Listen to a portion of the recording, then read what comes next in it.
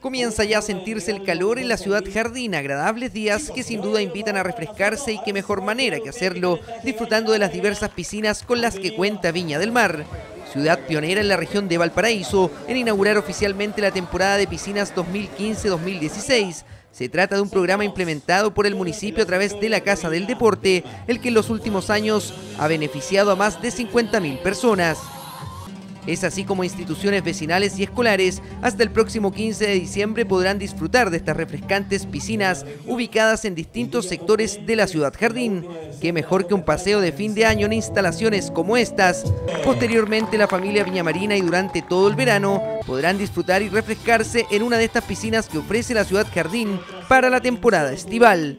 Tenemos seis piscinas maravillosas y es por eso que es para nosotros muy importante entregarlas a la comunidad para que ellos vengan, disfruten, lo pasen bien. Desde hoy hasta el 15 de diciembre van a estar abiertas las piscinas para que los colegios y las instituciones que quieran celebrar su paseo de, su, de fin de año puedan venir a ocupar la piscina. Desde hoy día ya están las inscripciones para los niños que después quieran aprender a nadar porque indudablemente es súper importante. La idea es que todas las personas que están interesada en participar en los cursos de natación o los cursos de gimnasia puedan acudir a las piscinas, estarán con los salvavidas apropiados y con las personas idóneas para inscribir a todas las personas que quieran participar.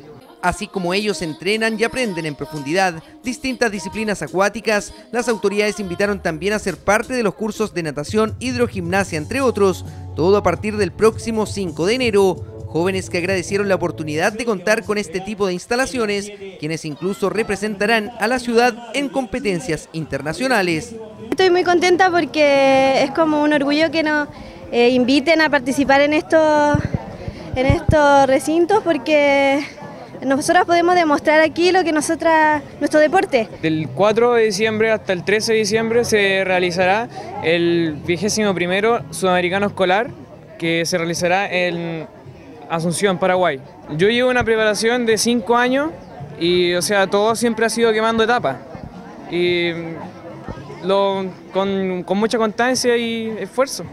Partió el verano para muchos, un clima que acompañó lo que fue el lanzamiento de la temporada de piscinas en Viña del Mar. ¿Me avisan si tenemos las imágenes ya?